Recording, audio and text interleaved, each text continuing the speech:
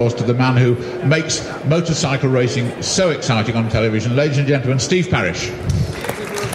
Well, I joined the uh, Suzuki team with Barry in 1977, having ridden a Suzuki a privateer bike, very similar to this in 76, bought by a builder from Guildford, a guy called Dave Moore, who built, bought me the bike. And then Suzuki gave me the opportunity to join Barry, uh, which again was amazing, you know, just to get a phone call, would you come and ride with Barry Sheene? And this particular bike that Barry won the World Championship on in 1976 was handed down to me for 77. So um, I got the champion's bike, and it was a great machine. I ended up finishing fourth in the World Championship that year on this bike.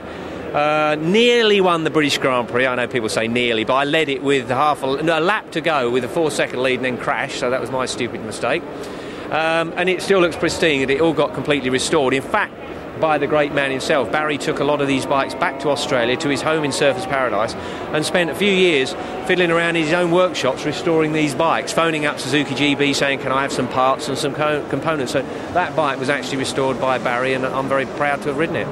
Yeah, it is a stunning example, I have to say. Now, Barry Sheene, how was he as a teammate and rider?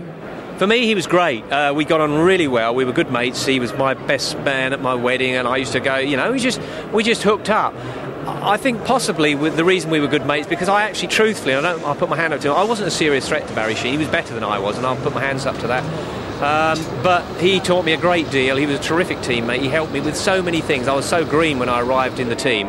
Uh, my first race on this bike was in Venezuela, and I think I'd been to Torremolinos before, and that was it. You know, I'd never done a long haul flight or anything. So he really held my hand a lot of the time, took me through my career, and it was the biggest loss of my life to see him pass away. But I don't think he was a very good teammate to some people that were a big threat to him because that was his makeup. And like a lot, lot of racing drivers, you can't actually be mates with people that you're going to get stuck into on the racetrack. But I beat him a few times, and uh, I'm very proud to have done so. But he was, to me, a terrific.